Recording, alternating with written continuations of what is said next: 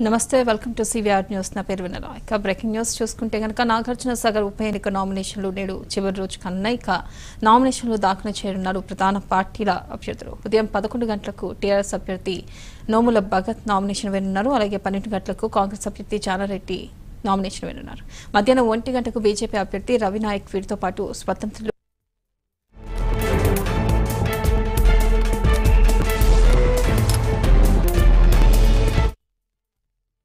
రంగంలోకి దిగుతున్నారు.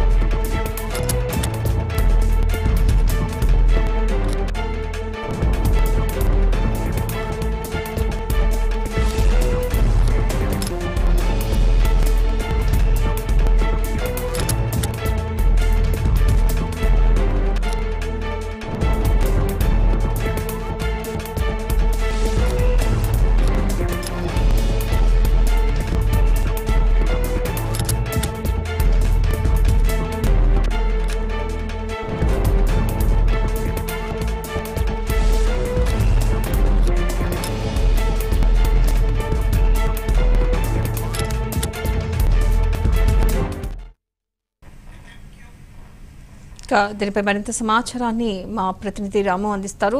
రాము చెప్పండి ఈరోజు అభ్యర్థులు బీజేపీ కాంగ్రెస్ అలాగే కొంత మరికొంతమంది అభ్యర్థులు ఈ రోజు నామినేషన్ దాఖలు చేయనున్నట్లు తెలుస్తున్నారు. అయితే ఈ రోజు ఎవరెవరు నామినేషన్ దాఖలు చేయనున్నారు? దీనిపై మీ దగ్గర ఉన్న అప్డేట్స్ ఏంటి రాము? మొత్తానికి నాగార్జున సార్ ఉప ఎన్నికకు సంబంధించి నామినేషన్లకు ఈ రోజు చివరి తేదీ కావడంతో కూడా ప్రధాన పార్టీ అభ్యర్థులందరూ కూడా నామినేషన్ వేసేందుకు మరికొద్ది సేపట్లో అక్కడ ఆరో కార్యాలయానికి నెడమండూరులోని ఏ కార్యాలయానికి రానున్నారు. ఇప్పటికే ఏదైతే మూడు గంటల వరకే నామినేషన్లు దాఖలకు సమయం ఉండటంతో కూడా వారందరూ కూడా తమ ఇష్ట దైవాన్ని దర్శించుకుని అక్కడ ప్రత్యేక పూజలు చేసేందుకు బయలుదేరారు. ఇటు టీఆర్ఎస్ అభ్యర్థి అదేవిధంగా కాంగ్రెస్ అదేవిధంగా బీజేపీ ముగ్గురు కూడా ప్రధాన పార్టీలకు సంబంధించినటువంటి అభ్యర్థులు కూడా ఇప్పటి వరకు కూడా నామినేషన్ వేయలేదు. ఈ రోజు చివరి రోజు కావడంతో కూడా నామినేషన్లకు దాఖలకు బయలుదేరిన పరిస్థితి ఉంది. మరికొద్ది సేపట్లో టీఆర్ఎస్ అభ్యర్థి నోముల భగత్ నామినేషన్ వేయనున్నారు. ఆయన తర్వాత కాంగ్రెస్ అభ్యర్థి సీనియర్ నేత జానారెడ్డి కూడా నామినేషన్ వేయనున్నారు. ఇక చివరిగా బీజేపీ అభ్యర్థి రవినాయక్ నామినేషన్లు దాఖలు చేసేందుకు కూడా సమాయత్తం అవుతున్నారు. మొత్తంగా వీరికి సంబంధించినటువంటి ఇప్పటికే అన్ని కార్యక్రమాలు పూర్తయినట్టు కూడా తెలుస్తుంది. మరోవైపు ఇప్పటి వరకు కూడా మొత్తం ఇరవై మూడు ఇరవై మంది ఇరవై మూడు సెట్లు నామినేషన్లు దాఖలు చేశారు. అయితే ప్రధాన పార్టీలు అయినటువంటి ఇటు కాంగ్రెస్ కావచ్చు టీఆర్ఎస్ బీజేపీ అభ్యర్థులు మాత్రం ఇప్పటి వరకు కూడా నామినేషన్ దాఖలు చేయలేదు. ఇప్పటికే టీడీపీ అభ్యర్థి ఈ మాత్రం నామినేషన్ దాఖలు చేశారు. అయితే ఈ నామినేషన్లకు ఈ రోజు చివరి రోజు కావడంతో కూడా పెద్ద సంఖ్యలో కూడా ఇటు భారీ హంగామాతోటి కూడా నామినేషన్ వేయాలని చెప్పేసి కూడా అభ్యర్థులు భావించినప్పటికీ కూడా ఏదైతే కోవిడ్ నిబంధనల దృష్ట్యా ఎలాంటి ర్యాలీలో సభలకు సభలకు అనుమతి లేదు లేదని చెప్పేసి కూడా అధికారులు చెప్పడంతో కూడా సాదా సీదాగా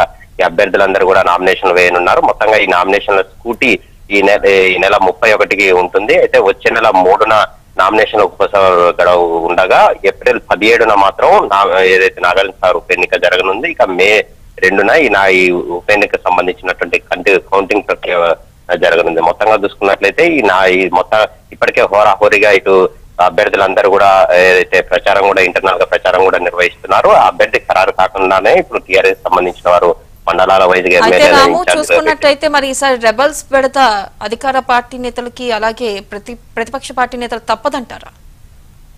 అయితే ఇటు టీఆర్ఎస్ కావచ్చు అదేవిధంగా బీజేపీకి అయితే ఒకరిపై ఒకరు ఆధారపడి చివరి నిమిషం వరకు కూడా అభ్యర్థిని ప్రకటించకుండా జాప్యం చేస్తూ వస్తున్నారు వచ్చారు. అయితే రెబల్స్ విడద ఉంటుందన్న కారణంగానే ఏదైతే టీఆర్ఎస్ అభ్యర్థికి సంబంధించినటువంటి అభ్యర్థి విషయంలో తగు జాగ్రత్తలు తీసుకుంది అధికార పార్టీ. అయితే నోముల నరసింహయ్య అకాల మరణం తర్వాత వస్తున్నటువంటి ఈ ఉప ఎన్నికలు కావడంతో కూడా గత పాత సాంప్రదాయాన్ని కొనసాగించే విధంగా కూడా ఏదైతే నోముల కుటుంబానికి టికెట్ కేటాయించింది ఆయన కుమారుడు నోముల భగత్కు టికెట్ కేటాయించడం కూడా పాత సాంప్రదాయాన్ని కంటిన్యూ చేసింది. మొత్తంగా కొంతమంది ఇద్దరు ముగ్గురు ఆశావాహులు టికెట్ కోసం ప్రయత్నించినప్పటికీ కూడా వారు బుద్ధగించే ప్రయత్నం చేశారు. ప్రధానంగా ఎంసీ కోటిరెడ్డి ఈ- ని ఈ మొత్తానికి ఎమ్మెల్సీ టికెట్ ఎమ్మెల్సీకి సంబంధించినటువంటి పదవి ఇస్తామని చెప్పి చెప్పడంతో కూడా ఆయన కొంత వెనుక తగ్గినట్టు తెలుస్తుంది. అదేవిధంగా మరో ఎమ్మెల్సీ తేరా చిన్నపరెడ్డిని సైతం బుద్ధగించే ప్రయత్నం చేశారు. ఈ నేపథ్యంలో వారితోనే బీఫామ్ కూడా ఇప్పించడంతో కూడా కొంత అక్కడ వారికి రెబల్స్ పెడితే తప్పిందనే చెప్పొచ్చు. అధికార టీఆర్ఎస్ పార్టీకి అయితే ప్రధానంగా ఇటు బీజేపీ పార్టీలో మాత్రం ముసలం